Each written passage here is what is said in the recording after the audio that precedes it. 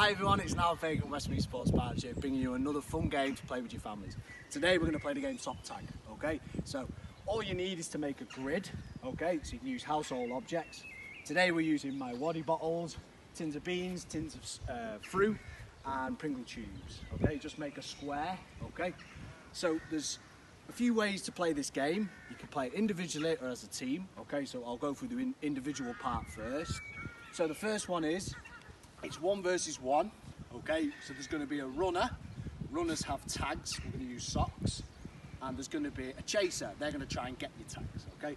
The aim is to try and get to the other side, okay, without having a tag taken off okay? So the runner is going to try and go past the chaser, okay? If they do, they're able to get a reward at the end, any household object of your choice. We've got footballs in here, bars, noodles, whatever it is you are able to take one back with you, okay?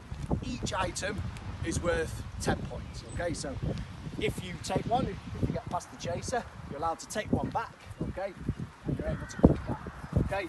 And then you can go again to try and win another 10 points, okay? So the aim is to try and stay away from the chaser, okay? You can time yourself, you can go for a minute, two minutes, it's up to you.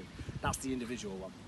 The second one is the team one, okay? So all your family can be runners with tags and there's one chaser, okay?